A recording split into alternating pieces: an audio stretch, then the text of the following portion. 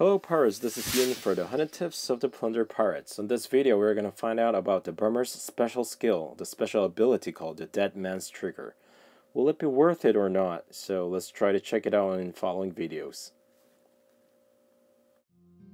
Let's check out the Bomber's skill tree. So you can see that this Dead Man's Trigger is on level 4, so it's cost 950,000 rums. Is it worth it? Let's try to check it out on the video. When you upgrade this Dead Man's Trigger, I thought I could have some kind of button to trigger this bombers, but actually it's kind of an automatic skill that they have, so you won't have any buttons to press on. So it's an automatic skill, when it dies, it's to explode itself, and it's to give certain damage to the nearby units and the buildings. So bang, you can see that the fence has been just torn down and it has affected some damage to the storage and you can see that the gauge of the storage is going to be about 500 damage.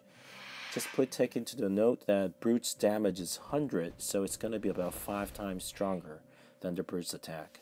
Oh, what do you think after watching this movie? Uh, is it really worth it using 950 rums for this upgrades? But well, but my conclusion is that it's not that worth it to be invested for this Dead Man's Trigger. It's much better to spend your money in Gunners or Brutes or Juggernauts. That's my conclusion of today.